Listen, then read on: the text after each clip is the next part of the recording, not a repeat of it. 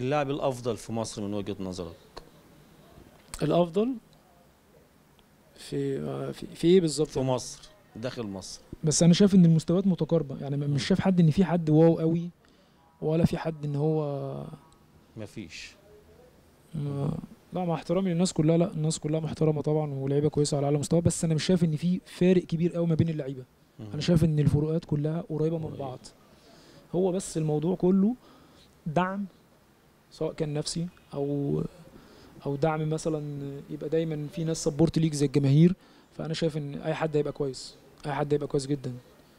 موضوع إن أنت تبقى تلعب في نادي كبير زي النادي الأهلي أو نادي الزمالك آه، هتلاقي support من من الجماهير و support من الناس اللي في الإدارة و support من اللعيبة فلا خلاص. أنت سهل جدا إن أنت تبقى نجم وسهل جدا إن أنت تبقى أفضل واحد. مدرب أثر فيك إيجابي يعني كان ليه تأثير إيجابي على محمد فاروق؟